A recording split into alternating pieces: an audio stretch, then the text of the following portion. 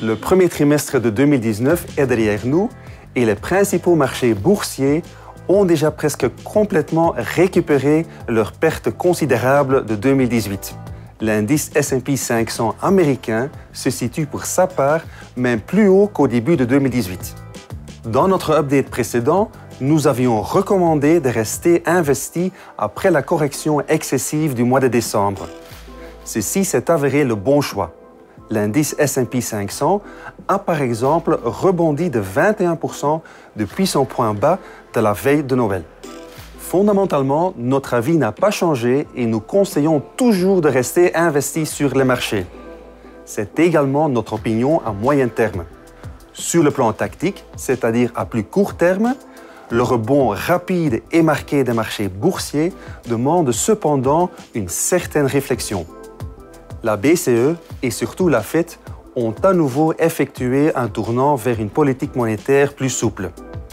C'est un facteur de soutien pour les marchés boursiers, mais une pause ne nous semblerait pas anormale après la forte hausse récente. Nous serions donc enclins à profiter de ce rallye pour prendre en partie ses bénéfices.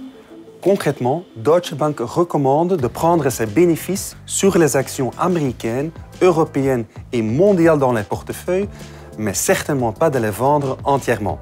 Ce profit peut être réinvesti de trois façons différentes selon votre appétit pour le risque.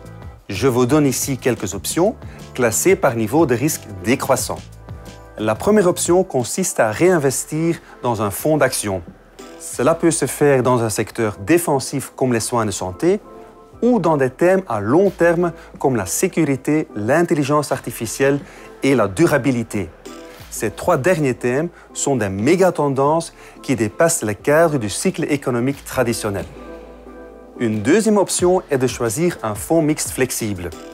Dans ce cas, vous pouvez bénéficier en grande partie d'une éventuelle hausse supplémentaire des cours boursiers, mais vous limitez les pertes grâce à la gestion active et flexible. La troisième option est d'aller vers des produits structurés avec protection de capital.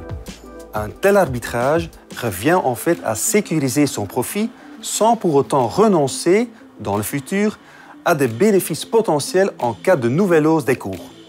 Ceci conclut notre update du printemps. Je vous remercie pour votre fidélité et je vous dis à très bientôt.